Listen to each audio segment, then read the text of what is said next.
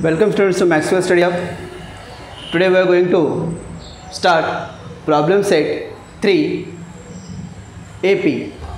AP chapter का problem set हम लोग स्टार्ट कर रहे हैं क्वेश्चन नंबर टू से question number two find the fourth term from the end in and A P minus eleven minus eight minus five dot dot and forty nine एक A P है minus eleven, minus eight, minus five, dot dot forty nine जिसका last है forty nine.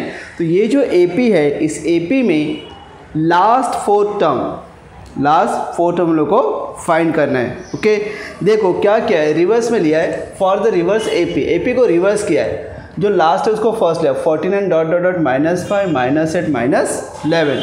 A P है reverse में लिखो या ऐसे लिखो डिस्टेंस सेम है ओके सीक्वेंस सेम आएगी। So A is equal to now 49, D is equal to minus 8 minus minus 5 minus 8 plus 5 is equal to minus three difference क्या है इसमें डिस्टेंस क्या है minus three fourth term from end for A P is T four यहाँ से T one T two three T three T four we know that tn is equal to a plus n minus 1 into d so t4 is equal to 49 plus 4 minus 1 into minus 3 fourteen plus four minus one, three into three. Fourteen minus three three ज़ा nine is equal to fourteen there four four term from end is fourteen मतलब end से अगर start करेंगे, जैसे minus eleven minus eight minus five ऐसे कर करके तो end four term from end is forty okay now next third question is in an A P tenth term is 46 and sum of fifth and seven term is 52 find the AP इसमें भी क्या दिया हम लोग को?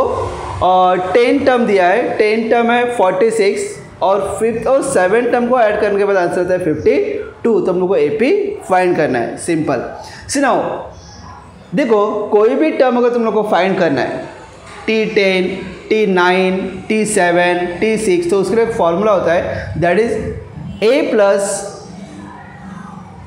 जैसे tenth term है तो ए प्लस नाइन डी आएगा सेवेंथ है तो ए प्लस सिक्स डी आएगा एट्थ है तो ए प्लस सेवन डी आएगा right for T ten T ten is equal to A plus nine D okay so forty six equal to A plus nine D तो A plus nine D is equal to forty six is equation number one जैसे कि मैंने यहाँ पे T ten के लिए a plus ninety लिया है वैसे टी फाइव के लिए क्या आएगा? T five equal to A plus four D और टी सेवन के लिए आएगा ए प्लस सिक्स डी समझ में? बिकॉज़ हमारा फार्मूला क्या है? A plus N minus one into D तो N is equal to seven है तो सेवन माइनस वन कितना होता है? सिक्स उसको हम लोग डी से क्या कहते हैं? मल्टीप्लाई करते हैं। So so, T5 is equal to a plus four d and T seven is to a plus six d अब हमें क्या पता है कि T5 और टी सेवन को मल्ट अगर ऐड करोगे तो आंसर था 52 two so A plus four D plus A plus six D is equal to fifty two A plus A two A plus ten D is equal to fifty two therefore a plus five d is equal to twenty six क्या किया यहाँ पे? Two से divide किया। Two common और two से divide किया। तो a plus five d is equal twenty six अब यहाँ पे क्या देखो इक्वेशन नंबर टू है। Subtracting equation two by one equation two को वन से सब्ट्रैक्ट किया। ओके okay, क्योंकि ये जो इक्वेशन देखो a plus nine is equal to forty six a plus five is equal to twenty six linear equation chapter number one याद है कुछ?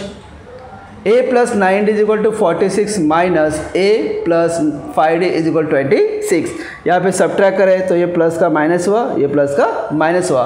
Then four D is equal to twenty 4d is equal to 20 and d is equal to 20 divided by 4 and answer is 5 d is equal to 20 divided by 4 answer is 5 put d is equal to 5 in equation 1 equation 1 में हम लोग ने d की value रखी है a plus 9d is equal to 46 then a plus 9 into 5 is equal to 46 a plus 45 is equal to 46 and a is equal to 46 minus 45 and a is equal to one A is equal to one now you have A also A is equal to T one and D also we can write A P now T one is equal to A is equal to one T two is equal to what one plus D क्योंकि जो भी t one है, उसमें हम लोग d को add करेंगे.